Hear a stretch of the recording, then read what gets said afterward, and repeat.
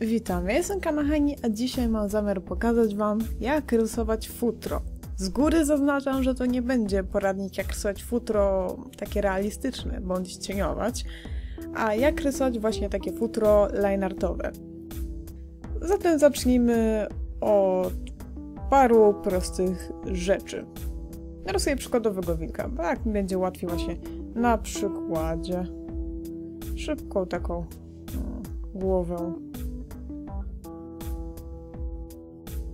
uznajmy.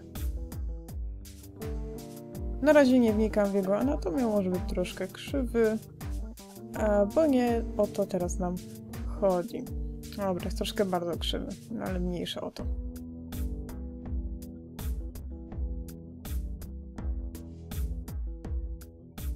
No okej, okay, uznajmy. I właśnie chodzi mi o to futro tutaj, albo futro tutaj jak sprawić, żeby wyglądało ono dosyć e, naturalnie, żeby nie było jakieś sztywne i tak dalej. Może wpierw skupmy się na tym, na jakie błąd najczęściej ludzie popełniają. O, zrobimy sobie może delikatnie przeźroczystą tę warstwę. O, wróć tu okienko, dobrze. O. I Najczęstszym błędem, jaki widzę wśród ludzi, którzy próbują robić futro, takie, e, jest to, że ono jest takie bardzo sztywne, takie trójkąty. Coś, coś takiego. Nie wiem. Dla mnie to wygląda co najmniej dziwnie i bardziej przypomina to kolce jeża niż, e, niż futro. Tak czy tak właśnie taki błąd e, bardzo często widzę u ludzi nie róbcie w ten sposób. Futro jest bardziej takie luźne, ono nie jest sztywne, ono sobie powiewa, e, ma pewną taką swobodą. Jak ja rysuję futro? Na pewno takimi delikatnymi łuczkami. Jest, no przykładowo, jeden taki i tak dalej.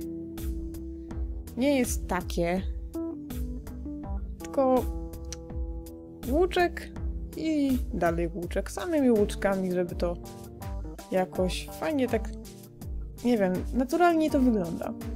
Inną ważną kwestią jest, że jeżeli już ktoś robi takie łuczki, już się nauczył, to robi to wszystko w jedną stronę.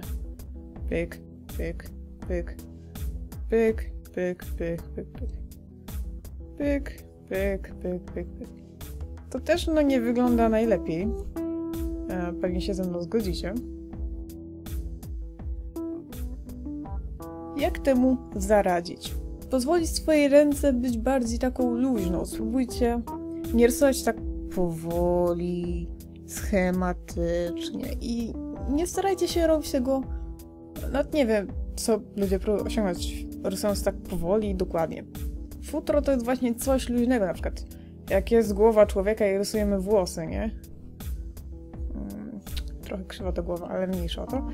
A to jeżeli ktoś rysuje takie sztywno, powoli włosy i powoli włosy, jakoś tak, to nie wygląda to najlepiej.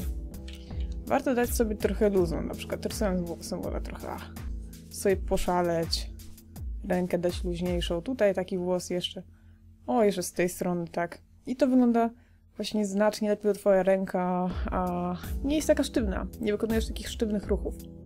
Dlatego tak samo przy futrze. Możesz sobie pozwolić um, w różne strony oczywiście robić te łuczki.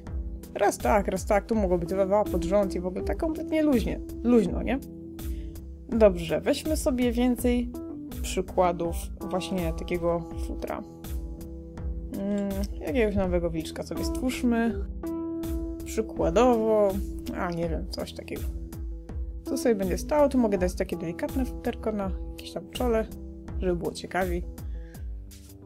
O, chyba znowu wyjdzie mi krzywy. A, mniejsza o to. Tu też mogę sobie na takiej brudce dać. Ja na ogół tak rysuję w moim stylu um, postacią męskim, wilczym. Jakieś oko, coś tam, coś tam. Brew też mogę sobie tego zrobić. I tu policzek z drugiej strony, bo to jest takie kąt taki czwarty, coś takiego. I przyjmijmy.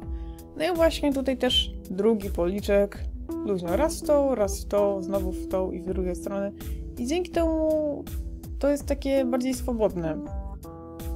A, tak bardzo luźno mi to wychodzi. Może troszkę krzywo mi wyszło. O. I właśnie tak to powstaje futro. Bardzo luźnymi ruchami pozwolić swoje ręce tworzyć, bawić się. Nie być po prostu sztywnym. Um, uznajmy. Może trochę więcej sylwetki, bo tam mamy więcej e, tego futra. Jak widzicie, cały czas właśnie używam tych łuczków, raz w jedną stronę, raz w drugą stronę. O! I tak dalej, tam jakaś łopatka będzie i... Czemu takie krzywusy mi wychodzą?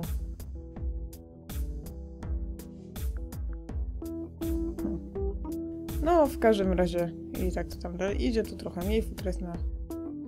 I tak dalej, i tak dalej. Ogon oczywiście będzie miał dłuższe futro jakieś, no to po prostu robimy to samo, tylko no większymi takimi łuczkami. I tutaj tak dalej, i tak dalej, i tak dalej. Noga kolejna. Mm, trochę krzywa ta łapa wyszła, ale mniejsza o to. I tak dalej, i tak dalej. I tak dalej. Ludzie mają też problem właśnie z dopasowaniem futra do kształtu. No, trochę nieproporcjonalne to ich, nieważne.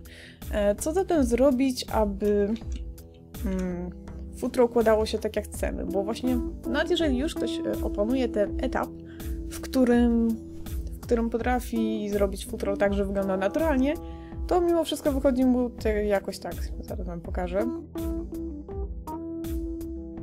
Um, po prostu nie potrafi jakoś tak ułożyć kształt, jakieś takie krzywe rzeczy mu wychodzą. I tu coś takiego krzywego mu wyjdzie, może jeszcze tu taka krzywizna jakaś. I tak, no, tak nie za bardzo.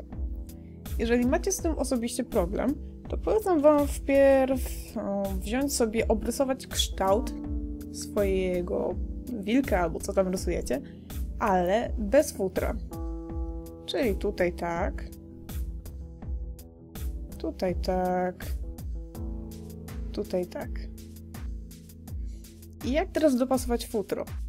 Jak robimy te takie łuczki, to te wszystkie punkciki, o, wezmę jakiś inny kolor, może różowy, ten punkcik, ten punkcik, ten punkcik mają się stykać z tą waszą linią. Czyli ten punkcik, ten punkcik, ten punkcik. Nie musi to być perfekcyjne, czasami może sobie wiem, wyjechać tutaj ten punkcik, ale e, ogółem starajcie się trzymać tej takiej właśnie linii. Dlatego jak rysujecie, to tak, do właśnie tej naszej zielonej linii dopasować punkcikami. Tu punkcik, tu, tu, tu i tak dalej. I dzięki temu będziecie mogli się trzymać kształtu. Jeżeli Wam nie wychodzi, to nie bójcie się próbować dalej, ponieważ to właśnie praktyka daje Wam umiejętności, a nie poznawanie teorii. Więc im więcej będziecie ćwiczyć, tym będzie to dla Was bardziej naturalne i z czasem nauczycie się robić to bez różnych li linii pomocniczych. Uff, chyba to wszystko. Jeżeli macie jeszcze jakieś pytania, zadawajcie je w komentarzach. Z chęcią Wam odpowiem i to tyle na dzisiaj. Jeżeli chcecie wiedzieć coś więcej ode mnie, nie wiem jak narysować, a coś tam, to też piszcie.